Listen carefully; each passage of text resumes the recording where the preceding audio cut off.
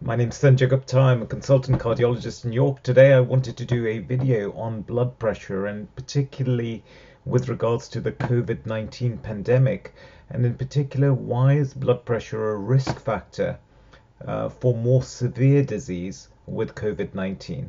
Okay, so the first thing to say is that one of the things that caused a lot of concern amongst patients, amongst people in general with the COVID 19 pandemic is that it has been found that certain groups of patients are considered significantly higher risk of getting the more severe and even fatal infection from the virus. Okay, when we study um, these patients, they're more likely to have uh, a higher prevalence of cardiovascular and respiratory disease. So when, you know, from China and Italy, what we find is that those people who had the worst form of the disease or who even died from the disease had a much higher prevalence of cardiovascular disease and respiratory disease. Physiologically, this would make complete sense because two of the fundamental requirements um, to preserve life is that oxygen needs to get in and out. Uh, you know, oxygen needs to get into the body, and then you need uh, blood to come and pick that oxygen up and deliver it to the vital organs. So if there is a major pre-existing problem with the lungs with oxygen delivery, then that's clearly going to be a bad thing. And if you have a problem with the circulatory system, i.e., blood getting round and trying to pick up this oxygen, then that would be a bad thing. So if you have any kind of um, respiratory or circulatory problem, then of course that increases your risk from any illness. Okay. Uh, however, one of the things that really st uh, stuck out from the data is the fact is this um, association with high blood pressure. Uh, the studies from China and Italy have suggested that those people who died had a much higher prevalence of high blood pressure, uh, 30 to 50 percent in some studies um, of the patient who had the worst forms of illness had high blood pressure. On the basis of this, this observation, um, the recommendation has been that, oh, well, high blood pressure is a major risk factor for uh, the more severe form of disease, and therefore people with high blood pressure should be considered particularly vulnerable. Okay, now this has caused a great deal of anxiety because high blood pressure is extremely common in the population, and everyone is wondering, am I now at high risk?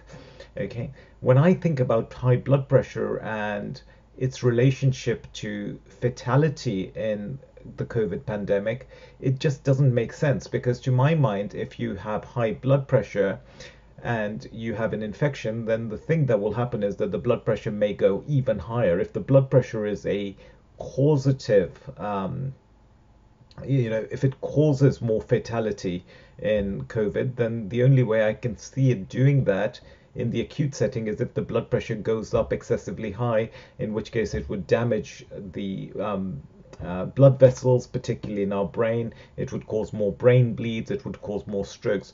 But we don't see that in these patients. We don't see that in those patients who die from COVID. They generally die because of bad lungs. They die because they cannot get enough oxygen into their bodies. They don't die because they're getting major bleeds. And therefore, the blood pressure itself cannot be the thing that is contributing to death. So what is this? What is this association with high blood pressure? Why why do people with high blood pressure seem to do badly in patients um, uh, with COVID? And so I thought I'd try and address that. The first thing and I'm trying to address it in the way that I can understand it. Okay, so the first thing to say is that none of what I say should make anyone complacent about following uh, government advice regarding social isolation, social distancing, hand washing, because by far and away the best thing you can do for yourself and for anyone else, and for everyone else, is not to get the virus in the first place. However, let's just try and explore this connection with blood pressure a little bit more okay? The first thing to ask yourself is what is high blood pressure? Is high blood pressure simply a set of numbers or is it actually more than that? Is it a process? Okay the way it's the world seems to define high blood pressure at the moment is by treating it purely as a number If your blood pressure numbers are higher than a number set by a group of doctors and medical researchers sitting in a room somewhere, then you have high blood pressure. If your uh, blood pressure does not meet that level, then you don't have high blood pressure and no one is interested. Um, the what is really even very really interesting is that this group of people who sit in a room and decide what is the cutoff change their mind all the time and they will change the numbers you know so every year you'd see the numbers coming down. Um, i believe this to be a a very amateurish approach which may work for populations but doesn't really work for individuals. The reason this is is because we are all different. For example as we get older our blood pressure will naturally go up. Um, if we are anxious our blood pressure will go up. Uh, and therefore if you just rely on the number and you use this comparator, this fixed comparator, then you may be erroneously diagnosed as or labeled as having high blood pressure because actually, you know, the, the number that these societies give us do not take into account your age, does not take into account what kind of environment you are in at that time, does not take into account how anxious you may be, it doesn't take into account your um, your physique, your ethnicity, etc. So the the problem is that when you use a fixed number as a comparator, then you may erroneously be labeled as having high blood pressure. And I'm sure that happens all the time. I'm sure there are tons of people who are just anxious, who are just older, in whom the blood pressure numbers are a little bit high, but it probably would have been labeled as having high blood pressure, the disease, erroneously. To my mind, high blood pressure should not be defined as a number. To my mind, the definition of high blood pressure is that pressure which is doing that patient whose pressure it is some form of harm. Okay? If the numbers are not doing you any form of harm, if your blood pressure is not harming you in any way, even at a microscopic level, then that pressure is not high for you.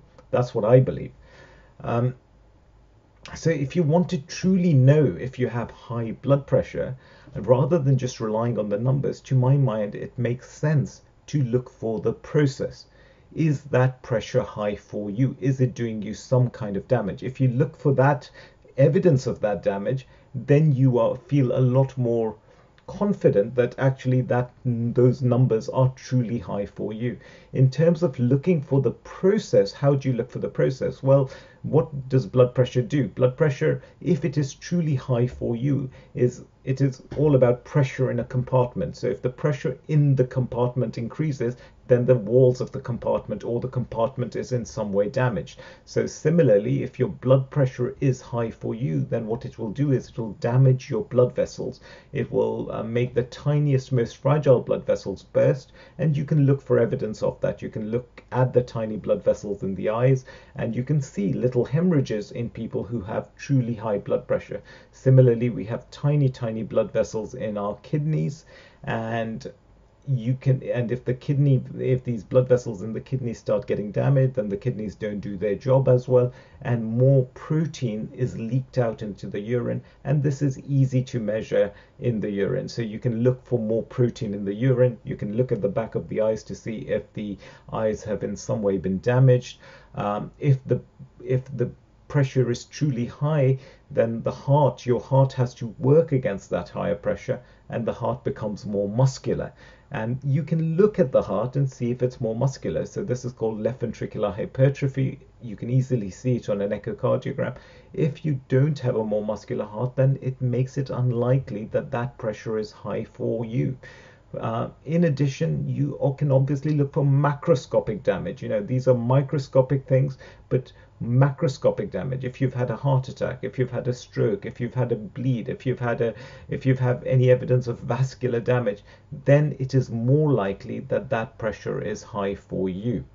Okay, and to my mind, if you don't have any evidence of that process going on and the only abnormality is the number, then I can't see why you are exposed to more high, uh, exposed to a greater risk from your blood pressure. And therefore, if you're not exposed to a greater risk for your blood pressure, then clearly you don't have high blood pressure. Personally, that's what I think. Anyway, So if we look at the COVID population, what could be the possible explanations uh, between um, high blood pressure or this diagnosis of high blood pressure and more severe or fatal disease. Okay, so the first thing to say is pressure or high blood pressure could just be a confounder. What I mean by this is that the strongest association between COVID and death and COVID and more severe disease is age. As people grow older, their blood pressure numbers go up. Okay, this is just part and parcel of aging but they are therefore more likely to be labeled as having high blood pressure because the cutoff that people set as high as as the value that uh, you know we call high uh, call blood pressure the cutoff doesn't change according to age. So a person's normal blood pressure will go up as they get older. Once they get to that cutoff, oh, you've got high blood pressure. Actually, no, that's probably just their normal blood pressure, but they're getting older. But it is also true to say that people who are older are more likely also. Some of them are more likely to have the process going on as well. So it is not surprising that older people have a much higher incidence of a diagnosis of high blood pressure. And it may not be that the blood pressure is the cause of the increased mortality. It is more likely that the patient is older and that is the more likely cause. It just happens to be older people have higher blood pressures. Okay, so that's the most likely reason to my mind. Another uh, thing to say is if you really have the process going on, it is generally a symptom of an unhealthy body. So, true high blood pressure, blood pressure that is high for you, generally keeps bad company. We often see people who have truly high blood pressure also to be diabetic. We also see them eh, an association with obesity. We also see an uh, association with kidney disease. So, all these additional risk factors act as additional risk factors for people with high blood pressure. So that's another thing to be aware of that blood pressure is not generally is not on its own. It it keeps bad company. So it's a group of things rather than just the blood pressure. Um, then there is another thing, which is to say that if you truly have the process going on, then the blood pressure is a sign of damage at a microscopic level. What I mean by this is that there's premature wear and tear in our blood vessels, and because there's premature wear and tear in our blood vessels, there is a degree of compromise with the blood getting to where it needs to get to. So if our uh, tiny blood vessels in our kidneys are worn and torn because of constant damage from um, this process, uh, then it's going to be more difficult for the blood to get through to the kidneys. Similarly with our brain, similarly with our heart. So if you then increase the demands as during a uh, infection with COVID where you get very high fever, you get very dehydrated, there's lack of oxygen, then you know you're increasing the demand and unfortunately, because of this wear and tear, the supply is not going to be able to match the demand, and the vital organs are not likely to get as much blood, and they're more likely to start failing, which will then increase your risk of everything going wrong as a result of the infection. So that's another reason why people with high blood pressure probably do badly uh, when they get the infection. True high blood pressure, that is. The next thing to say is that people who have high blood pressure tend to have more muscular hearts, okay, because the heart has to work against this higher pressure over a prolonged period of time, and therefore the heart becomes more muscular. When the heart becomes more muscular, it becomes stiffer. It contracts with great strength, but it cannot relax. It's like uh, becoming a bodybuilder. You know, bodybuilders generally are very strong, but they tend to be less compliant. They tend to be a little bit more stiff than, say, a ballerina, uh, and therefore, as uh, as um, the heart is getting as the heart is adapting to this higher pressure, it becomes more muscular. As it becomes more muscular, it becomes stiffer. What that means is it contracts well, but it doesn't relax as quickly. Because it doesn't relax as quickly, it doesn't fill with as much blood. Okay. Now, when does it relax? It relaxes when uh, it relaxes during a phase of the heart called diastole. When we when we have an active infection going on, when our heart rates are going really fast to try and keep up with the body's increased demands, then we shorten the time for the heart to fill in diastole. So the heart is really stiff. It needs more time to fill with blood, but we're depriving it of that time. And therefore, the heart doesn't fill with as much blood. Less blood comes out because less blood is coming out, and you've got this damage to the kidney vessels, etc. Everything gets a little bit worse.